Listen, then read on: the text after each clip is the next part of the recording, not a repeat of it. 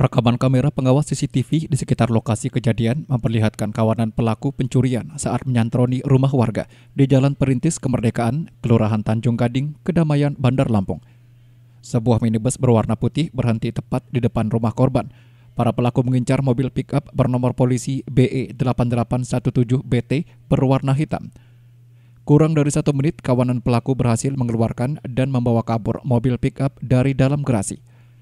Korban Trisi Sulo menjelaskan, aksi pencurian diketahui pagi hari saat dirinya hendak mengeluarkan mobil, namun kendaraan sudah tidak ada di dalam garasi. Kalau kajian pastinya itu kalau di CCTV sekitar jam 00 sampai 00.14 atau 15. Tapi kalau informasi dari sepupu kita yang di rumah itu karena dia terbangun mendengar suara mobil tidak ada jam, jadi dia bilang sekitar 23.00 ah, 23.30 nah itu posisi mobil terparkir di mana, Bang? mobil terparkir di garasi di rumah nenek Hmm. eh, Dalam gerasi, Bang ya? dalam garasi yang ada muatannya juga sih muatannya bambu dan bendera-bendera organisasi Hmm. Nah. Terus pelaku itu masuk dari mana, Bang, awalnya, Bang?